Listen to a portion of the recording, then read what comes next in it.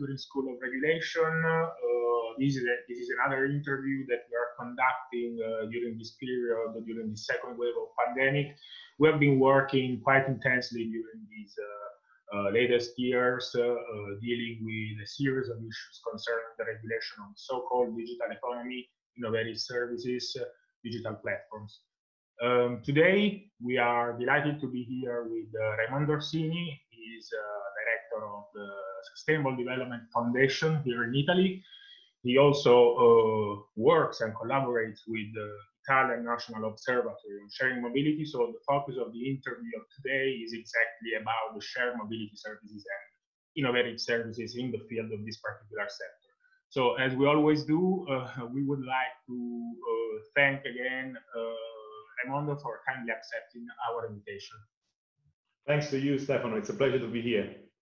Okay, so um, I would like uh, to start uh, directly with, with the first question. We know that uh, uh as a, a, national observatory on sharing mobility, you have just released a very interesting report about the state of the art of shared mobility services in Italy. And we would like to ask you to illustrate uh, and sketch out a little bit what is the current situation concerning these services, especially uh, after the pandemic and during this new wave? Thanks very much. Um, as you know, we are uh, running and, and, managing together with the Minister of Environment and uh, many uh, other um, operators and companies and research center, the National Observatory for Sharing Mobility. And we are also proud as Italians that this is a single unique case in Europe because every year since uh, 2016, we are delivering the national report on the state of the sharing mobility. Um, so we give all you know the situation about the data, about the services, about the regulation, and many proposals.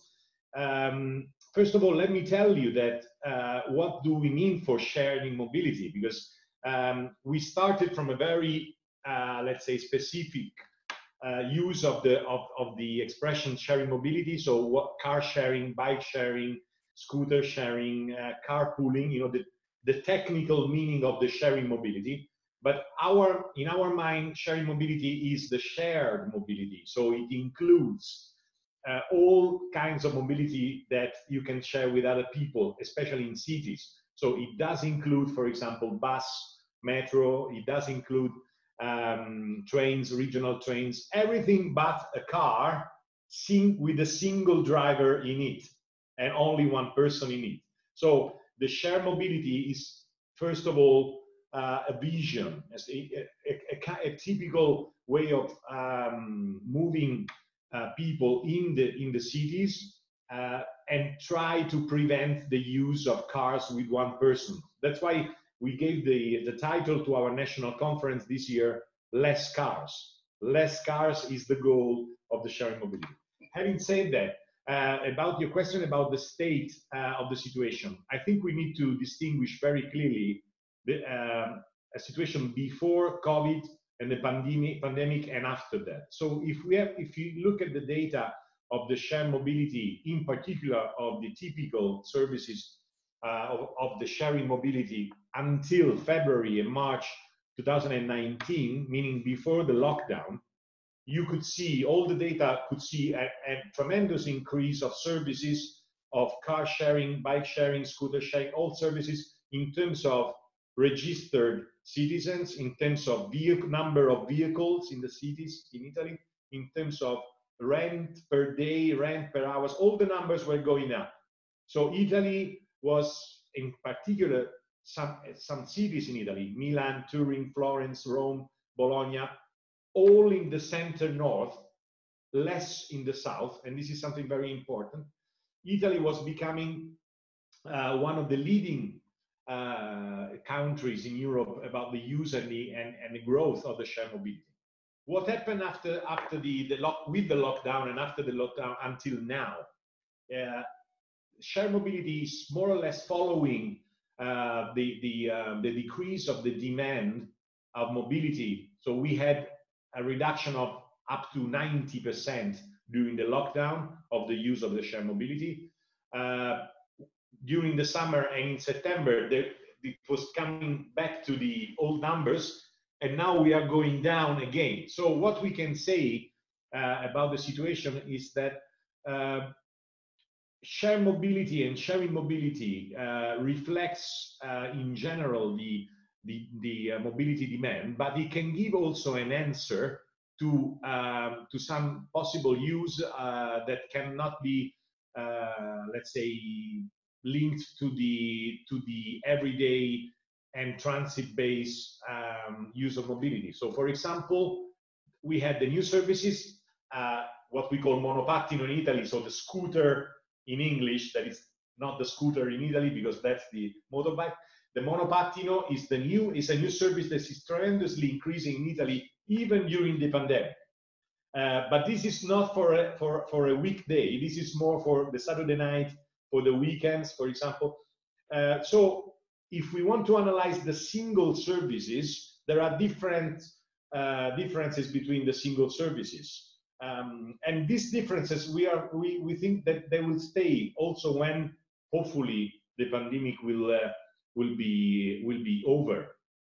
Um, so there are many differences between the car sharing and and the scooter sharing and uh, ride hailing and you know it's something that is growing and it will grow but in different ways and different numbers okay uh, and this is linked also with your work because it's very much linked with the regulation or the lack of regulation so the way how this share mobility is growing depends also on, on the absence or the presence of a specific regulation in the cities. And this is the case of the scooter sharing, for example, that has no had no regulation at the beginning, and so there was, we can say, a mess uh, in the cities. There was a let's a, an offer much bigger than the demand, uh, and now we will see what's going to happen about with the regulation of this in, in, in the future, because many cities are rethinking about regulating. So one of the leading points will be the regulation and the and and and the role of the regulation for for the future.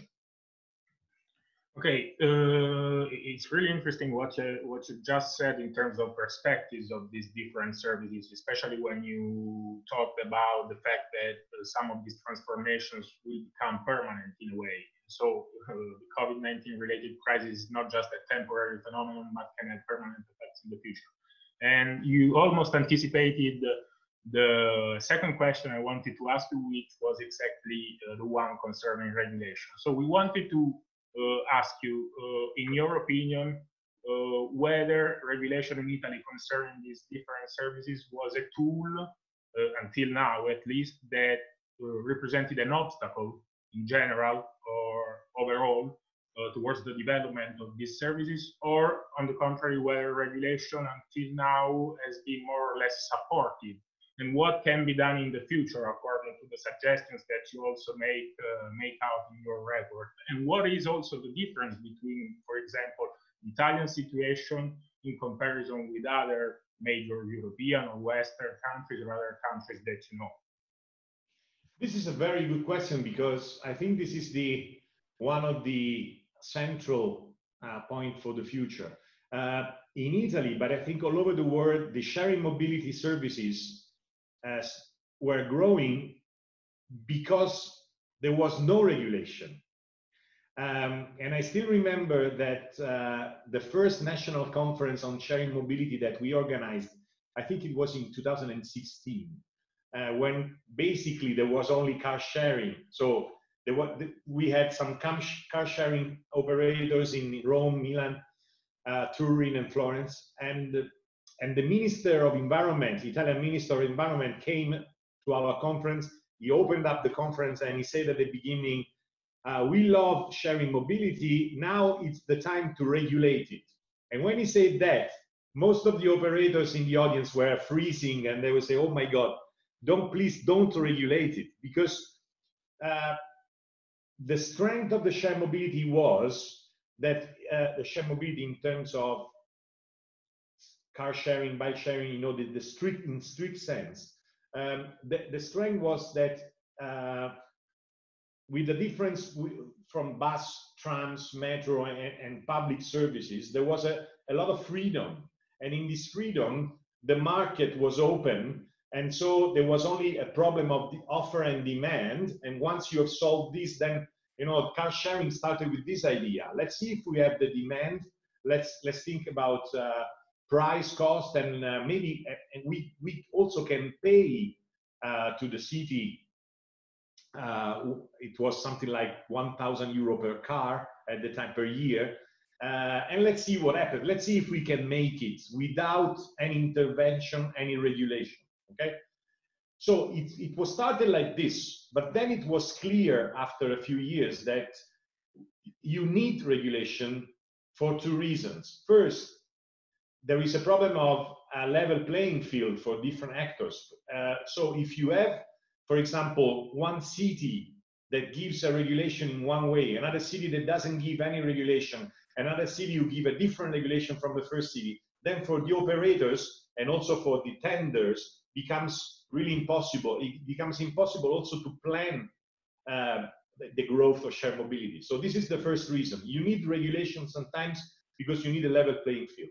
The second point was that you need regulation in order to avoid a kind of dumping of different uh, services. Uh, do you? I think you remember, for example, the the, the bike sharing. Um, uh, the, the first bike sharing schemes that were not station based, they were free float. There were some Chinese companies almost invading our cities with bicycles that were left everywhere.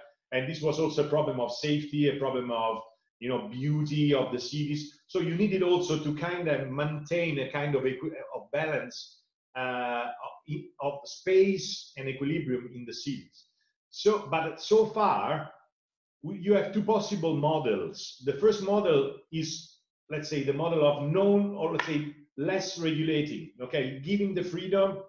And this is what's happening in big cities with car sharing for example. You you just put a cap uh, for example, for a maximum amount of cars, uh, and you put maybe you ask for some money in return for giving the park uh, space, and that's it. Okay, and this is the first model.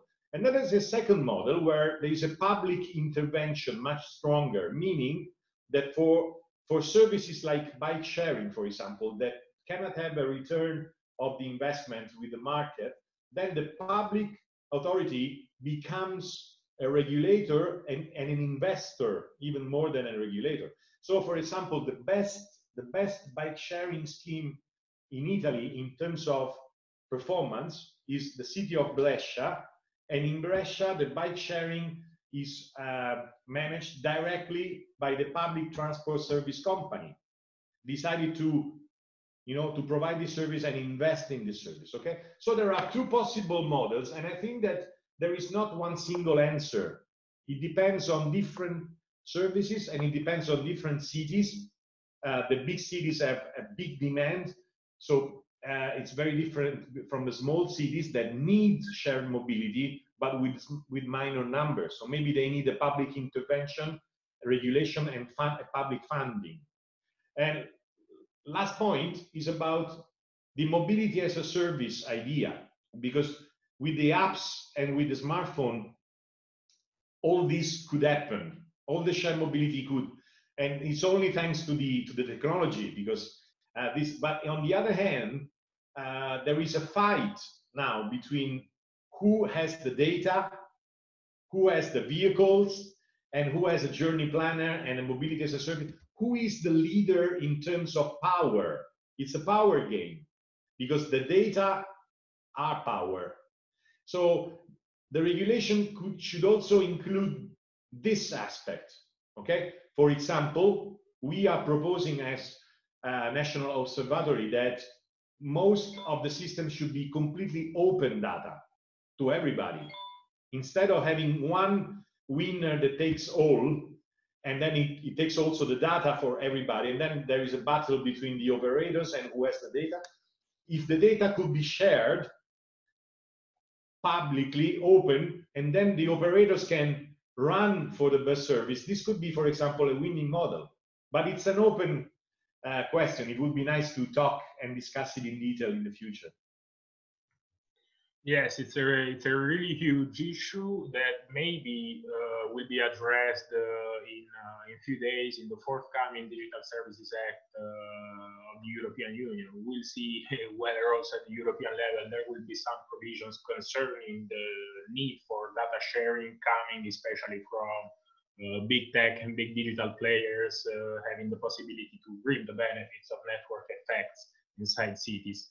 And with respect also to the issue of the European level of uh, regulation, uh, as we all know, at least in Italy, in, this uh, very recent day, we are discussing also at the parliament level about the huge funds, the huge monetary resources that will come from the next generation EU uh, program. And in that program, there is a lot of stress on the digital transition and the green transition with respect exactly to this issue, uh, what is the role that, according to you, can be played uh, towards a green transition by shared mobility services? And are there any services inside this set of services that are better positioned than others to tackle this uh, societal challenge?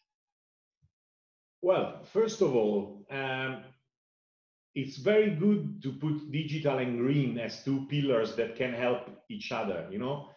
Uh, to our point of, in our point of view meaning the sustainable development foundation green and sustainability should be the, the, the north pole the leading star that you should follow. So the digital services are good if at the end they can help sustainability. So if at the end they can be used to to, to improve the environmental conditions of our community and the social conditions. Digital should not be uh, an end in itself. It should, it should, okay, so in this sense, shared mobility and sharing mobility can be really useful um, because of the, of the idea of less cars that I was telling you at the beginning of the interview. Italy, in particular, has seven, more or less 700, 650 cars on 1,000 inhabitants. Okay, and we are the, the, the highest European ranking country in terms of uh, motorization rate. Okay, so we should we should dramatically reduce the number of cars per inhabitant, and the only way to reduce it is to is to provide Italian people with different services so that they can forget the use of their cars in the city. And in this sense, digital uh, services and shared mobility can help a lot. Okay, so uh, in, also in terms of environment of emissions, uh, CO2 emissions, but also atmospheric emissions and pollutants in the cities, the less you use the cars, the more you share, and the, and the, and the best would be for the environment. So all services. Uh, I don't agree with people saying, for example, that car sharing um, is not good because at the end it's always car. So you use the car and you pollute because this idea is is valid only if you see the direct emissions from the car. But if you see the system, if you have a car sharing, then people will not use their or will not buy a second car. If they don't buy a second car, they give more space in the city available for bicycles, bus, so it's a it's a system mentality, you know. So you shouldn't you shouldn't only see the emissions of the car. And more than this, the car sharing, for example, can be electrified very very easily, much much uh, more you know in a way much more faster than much faster than the normal cars.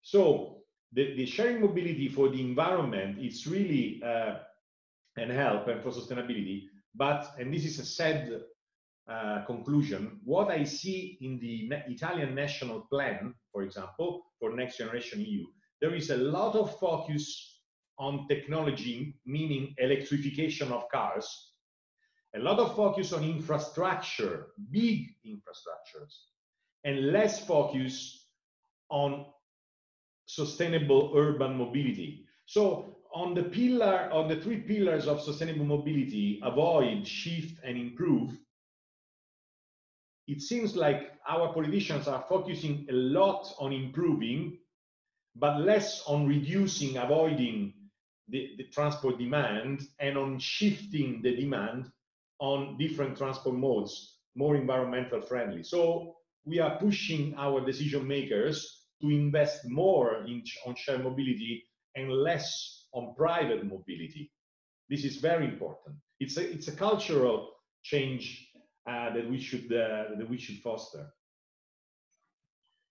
Okay, so with this uh, quite set conclusion that maybe could be could be in a way changed by the development these issues uh, during the next months, we would like to thank again uh, Raimondo for your availability today and for the very rich uh, and interesting conversation. And we hope to see you again, maybe for an update uh, about these and other issues. Thanks again. Thanks to the Turin School of Regulation. Thanks.